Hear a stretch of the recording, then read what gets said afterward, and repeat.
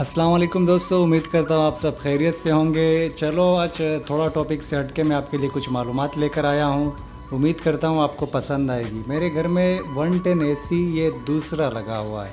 यानी कि एक इससे पहले मैंने इस्तेमाल किया तीन साल, उसके बाद फिर ये मैं दूसरा परचेज़ करके लाया हूँ। इसकी मैं आपको मुकम्मल मालूम दूँगा कि कितने वोट पे चलता है कितनी ठंडक देता है, बिजली कितनी कंज्यूम करता है एम्पेयर क्या होते हैं और अगर वोट के हिसाब से देखा जाए तो कितना वोट आता है। तो वीडियो आप देख लें, इंशाल्लाह आपको मेरी वीडियो पसंद आएगी, मेरा रिव्यू भी आपको ज़रूर पसंद आएगा। दोस्तों एसी परचेज़ करने के बाद आपको इसके लिए एक कन्वर्टर लेना होगा। ये नॉर्मल सॉकेट में लग जाते हैं, जैसे कि दुकानदार वाले बताते हैं, लेकिन अगर ये सॉकेट में लूज़ होगा तो ये आपकी सॉकेट जला देगा। तो ये है कि इसके लिए आप अगर अच्छी फिटिंग कर सकते हैं तो और भी अच्छा होगा। नॉर्मल प्लग है, ये प्लग जो है, ये फ़िलहाल मेरे पास जो है, ये इस कन्वर्टर का प्लग है। कन्वर्टर की बैक साइड पे आप देखें, ये जो प्लग मैं निकाल रहा हूँ, ये एसी का प्लग है। तो एसी का जो अपना प्लग है कंपनी फिटेड वो यही प्लग है। इसमें फ्यूज़ भी लगा होता है कि अगर बिजली कोई झटका मारती है तो इसका फ्यूज़ जल जाएगा, लेकिन आपका कन्वर्टर बचा रहेगा। ये कंपनी वाला स्विच है जो कि मेरे हाथ में देख रहे हैं। चलिए इसको अपनी जगह लगाते हैं। इसके अलावा भी काफ़ी मालूम है जो आपके साथ शेयर करनी है।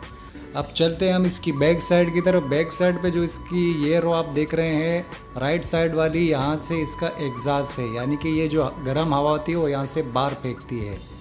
इसके सबसे नीचे कोने पे आपको एक हॉल मिलेगा। इस हॉल से पानी आता है।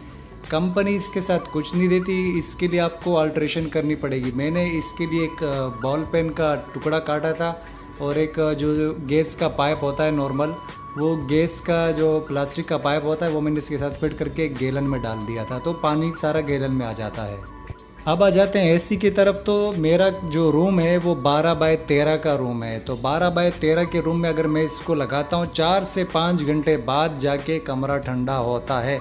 ऐसा बिल्कुल नहीं है कि अगर आपने लगाया है तो घंटे बाद कमरा ठंडा होगा तो ऐसी कोई भी कहानी नहीं है। कूलिंग इसकी अच्छी है, लेकिन इसकी थ्रो अच्छी नहीं होती, यानी कि थ्रो इसकी नॉर्मल ही होती है। छः से सात फुट की अगर आप कहीं खड़े में पंखा नहीं है तो इसकी थ्रो आप तक आएगी। इसके साथ रिमोट नहीं आते। रिमोट मैंने इसके लिए यूनिवर्सल रिमोट परचेज़ किया है। तो रिमोट आपको इसके साथ लेना ही पड़ेगा। क्योंकि ये जो मेरे पास है, आप इसको ऑन करेंगे तो ये ऑटो पर ही चलता रहेगा छब्बीस पे।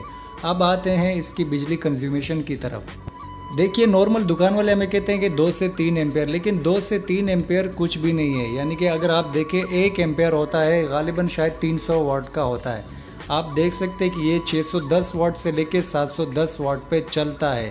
अगर आपका एसी 10 घंटे आप चलाते हैं, वन टेन वाला तो 10 घंटे में ये आपके सात यूनिट खाएगा। ये कंफर्म है।